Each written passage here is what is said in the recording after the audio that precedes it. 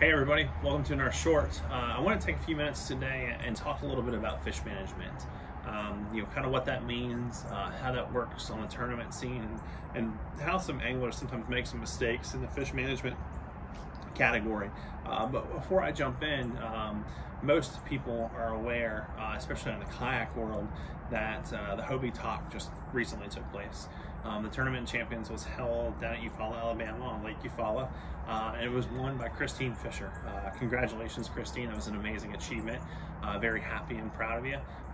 Your hard work has paid off, and you know uh, that's something that, that people recognize for sure is the, the, amount of time and effort that you put into this industry and into your fishing, and it shows. And you know you achieve great things because of that hard work. So congratulations again um, you know, moving into fish management is important. Um, the TOC itself is a three-day event, and managing fish over multiple days can be a very, very difficult task. Um, you know, people often say, you know, you can't win pre-fishing. Um, and the funny thing about it is, is that for as much as you can't win pre-fishing, you can lose an entire tournament in the pre-fishing scene. And what I mean by that is, you know, sometimes anglers go out and they, they have that want, that will, they need to catch a fish. And they go out there and they start catching fish and then they burn a hole or they burn a spot that may have had the quantity or the quality that they needed to support them through a tournament.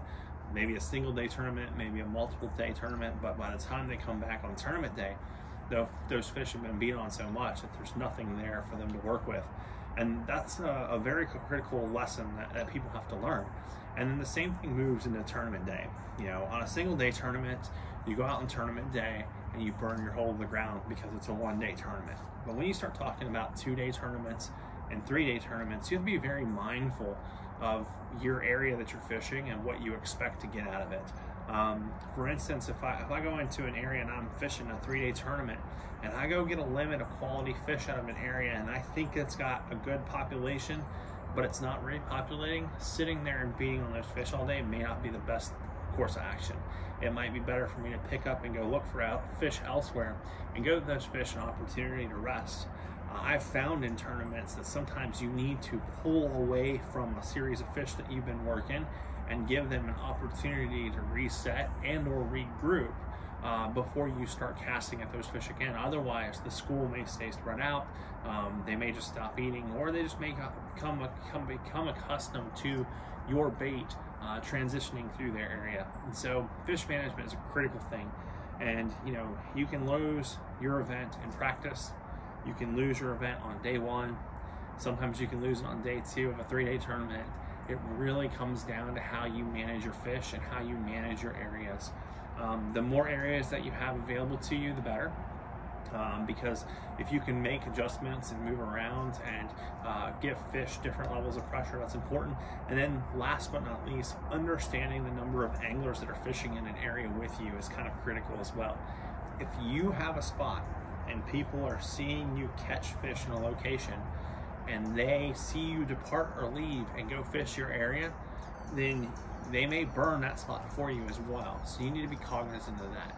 Know what you have and whether or not it's special. Does it is it stand out? Is it separate?